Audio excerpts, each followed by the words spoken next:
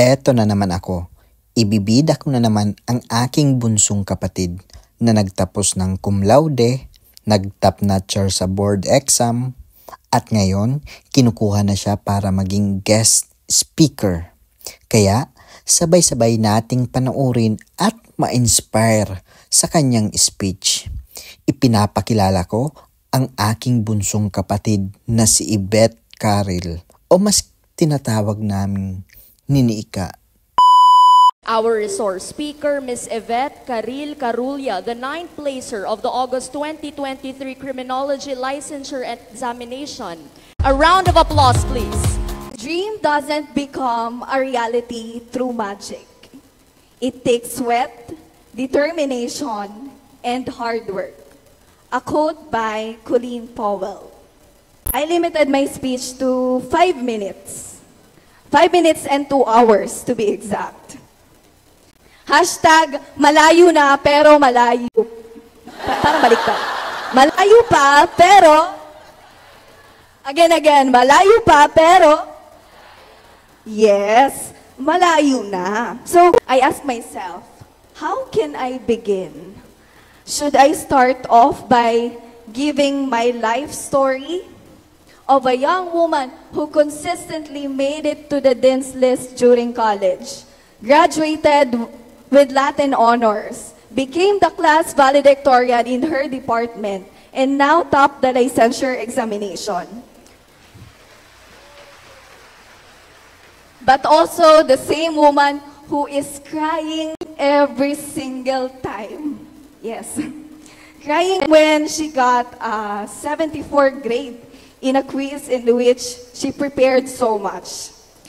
Crying days before the graduation ceremony because her thesis was not yet submitted.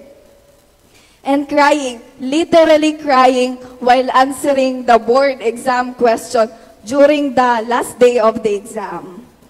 But then I remember, people often say, always go back to where you started. Bumalik ka kung saan ka nagsimula. Most of us are scared of diving into the unknown, of uncertainty, of unfamiliarity, of not knowing what's going to happen. We are scared that things could go wrong, that things will be uncomfortable, and that things might not go as expected. But taking a leap of faith, taking a leap into the future, and throwing yourself into the unknown can be very rewarding sometimes. Every time I crack the news to my parents that I was included in the distance list, I can see the depth of appreciation through their eyes.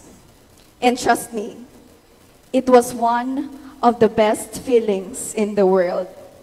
Having good grades is your only way to give back somehow. Allow me to give three unsolicited advice coming from your senior or your ate. I will rate this as 10 million over 10 in ensuing my own growth, which I'd love to share with you here, and I hope will be useful to you. Number one, dare to dream. See the beauty of manifesting, of claiming. Since I am an advocate of journaling, and I am an enthusiast since I was in elementary, I am encouraging you to put that dream on a paper. Because by writing down your dreams, you give them a tangible form, making them more real and attainable. So, writing down your dreams will help you stay focused, track your progress, and motivate you during challenging times. Number two, pursuing excellence in everything you do. Yes, everything. According to our mother, Taylor Swift, never be ashamed of trying. Effortlessness is a myth. But please, don't get me wrong. I am not promoting self-sabotage. I am no perfect. I have also my fair share of lazy days and not able to function days. Been there, done that. Kaya nga ako iyakin. Personally, I firmly believe that all of us are here to achieve greatness, to be the best that we can be, and to shake and move the world. There is nothing more satisfying than overcoming a challenge that was previously deemed insurmountable.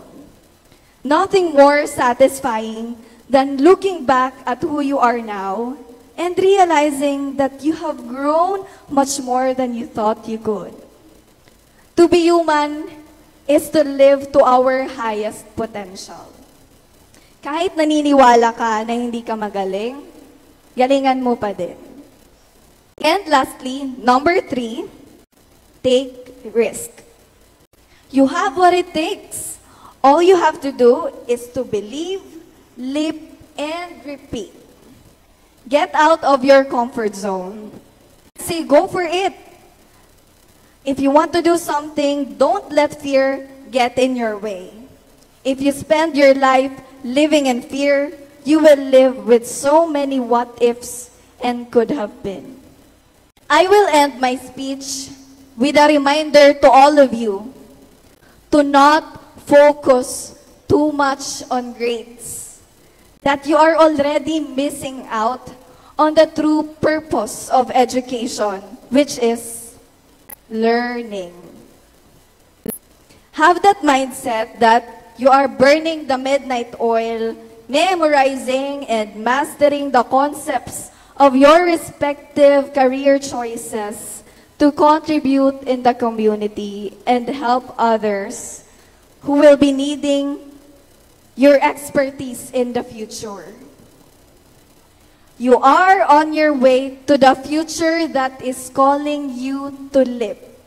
God bless you all again. Congratulations and just mabalos po sa Ilagabos. Alam nyo, ang dami kong nasulat. I wrote down all the wonderful inputs that she gave.